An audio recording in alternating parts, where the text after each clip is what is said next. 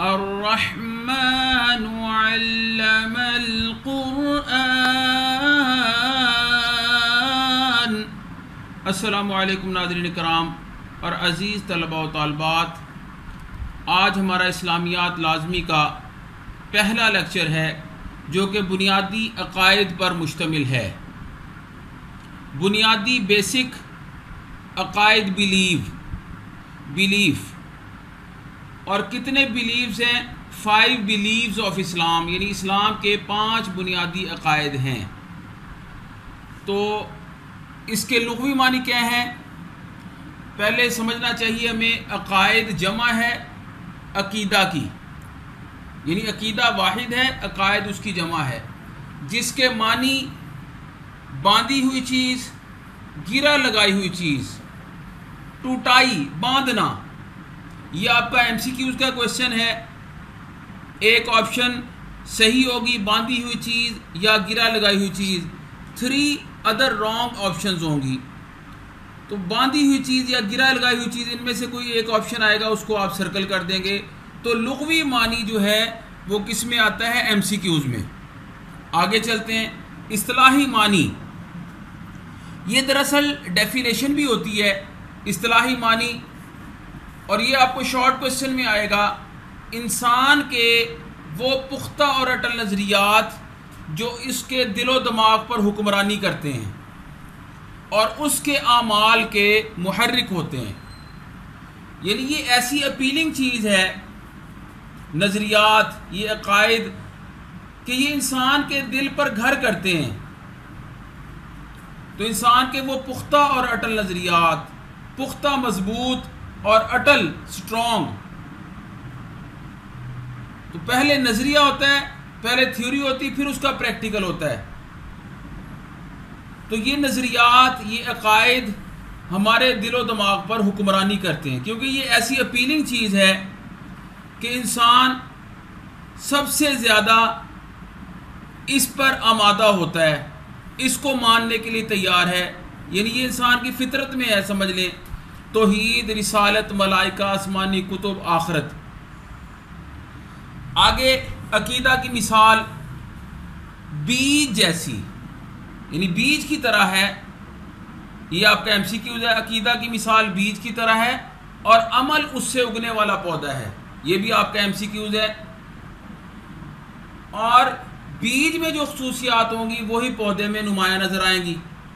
यानी बीज अगर एक नंबर का है तो पौधा भी एक नंबर ही उगेगा। बीज अगर दो नंबर है, इसी तरह पौधा भी दो नंबर उगेगा। जिस तरह इंसानों में क्वालिटीज होती हैं, एक नंबर होता है, दो नंबर होता है, यानी हर चीज़ की क्वालिटीज होती हैं। तो इसी तरह अकीदा की मिसाल बीज जैसी है और अमल उससे उगने वाला पौधा। जस्ट लाइक ए सीड और अमल उससे उगने वाला पौधा है, यानी प्लांट है। तो अकीदा की मिसाल ये भी आपको एम में आ जाएगा। और शॉर्ट क्वेश्चन में अगर आए तो फिर दोनों आप लिखेंगे, अकीदा की मिसाल बीज की तरह और अमल उससे उगने वाला पौधा। एम सी क्यूज़ में तो अलहदा आपको आएगा, अकीदा की मिसाल बीज जैसी है और अलहदा से आपको आ सकता है, अमल की मिसाल उससे उगने वाला पौधा। अगली हेडिंग है, अकायद की अहमियत इम्पोर्टेंस और किसी भी चीज़ की इम्पोर्टेंस अहमियत का अंदाज़ा इस बात से लगाया जा सकता है कि तमाम अम्बिया ने तबलीग का आगाज़ अकायद की असलाह से किया। यानी पहले अकायद दुरुस्त किए, फिर वो आगे चले। अब अकायद क्या हैं? तोहीद, रिसालत, मलाइका, आसमानी कुतुब, आखरत। यानी अकीदे के अतबार से लोगों के बहुत गलत अकायद थे, शिरक भी करते थे, रसूलों को दिलो जान से मानते नहीं थे, फरिश्तों को अल्लाह की बेटियाँ समझते थे। अल्लाह की किताबों की नाफरमानी किया करते थे, आखरत पर यकीन नहीं था कईयों को। तो उनके अकायद को पहले दुरुस्त किया और नबी सल्लल्लाहु अलैहि वसल्लम ने भी मक्का में जब तबलीग की तो सबसे पहले अकायद को दुरुस्त किया सबके और उन अकायद में भी ख़ास तौर पे तोहीद को ज़्यादा फोकस किया आपने। और अकायद की अहमियत पर आयत कौन सी है? सूरह बकरा की वलाकिन अलबिर्रा मन आमना बिल्लाही वल योमिल आखिरी, वल मलाइकती, वल किताबी वन नबीयीन। कि बड़ी नेकी तो ये है जो ईमान लाए अल्लाह पर, आखरत के दिन पर, वल योमिल आखिरी, वल मलाइकती और फरिश्तों पर, वल किताबी और किताबों पर वन नबीन और तमाम पैगम्बरों पर।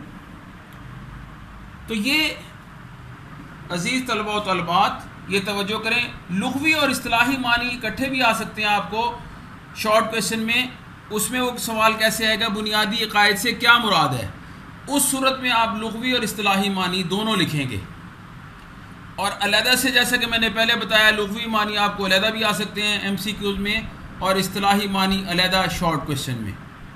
तो ये था आज का हमारा लेक्चर नंबर वन इसको तवज्जो के साथ आप पढ़ें, लिख के भी इसकी प्रैक्टिस करें। गुड प्रेजेंटेशन होनी चाहिए। तो जितनी अच्छी प्रेजेंटेशन होगी, उतने अच्छे आपको मार्क्स मिलेंगे बोर्ड में। तो अल्लाह ताला हम सब का हामी नासिर हो। असलकम वरहमल वर्का